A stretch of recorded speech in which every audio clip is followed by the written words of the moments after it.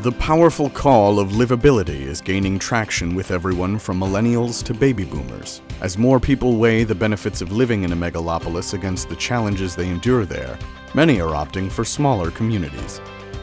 I think people are choosing smaller communities over the larger cities for quality of life issues. The cost of living is less, housing is more affordable, commute times are less. If you live 20 miles away, you can be to work in 20 minutes. It's just a better way to live. Beyond escaping the stresses of big city living, what most people are looking for is the opportunity to truly enhance their quality of life.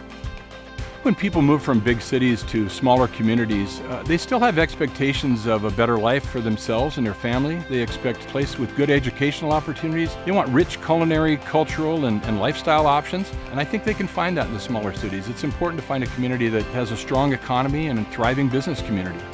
Communities need businesses to be strong economically, and business communities need to be striving to provide job opportunities and great tax base for support of our local services. A strong economy provides job opportunities. Job opportunities means there's workforce development. Workforce development means there is property tax support, and that means quality of life. That combination of a desirable quality of life and a supportive business environment is creating steady growth for small communities like Walla Walla, Washington. We have a great quality of life here, in part because we have a terrific port that supports a lot of heavy and light industrial business. We have a prime location for that with water transportation on the Columbia River. It's got rail and underground gas transmission lines, and we're fortunate that it's uh, ideally located 30 miles from our primary population center. Our business community is supported through workforce development, an educated labor force. That provides the employees necessary to support the businesses. We also provide adequate infrastructure such as highway investments, rail investment, navigation support of the river system, and we have adequate land inventory that's properly zoned for manufacturing. Our port has been tremendous for uh, industry and the economy in this community. It provides uh, a lot of employment with the businesses that it brings in.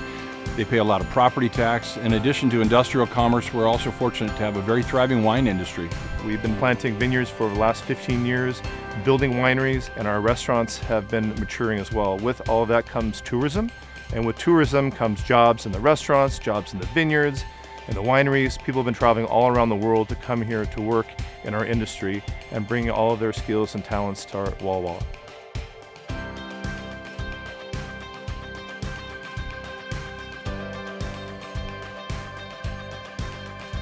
Discover Walla Walla, Washington. This vibrant community is attracting new businesses, residents, and tourists with its scenic beauty, rich heritage, and thriving economy. The city of Walla Walla itself is actually older than the state of Washington. It was once the territorial capital of the Oregon Territory. We have a rich heritage and cultural history that's part of what attracts people here today. We have the longest continuously running symphony west of the Mississippi and at least four live theater groups and a chamber music organization. We have three colleges, two private and a wonderful community college that has won a national award as being the best community college in the nation. You don't expect to find that in a city of 30,000 people or a county of 60,000.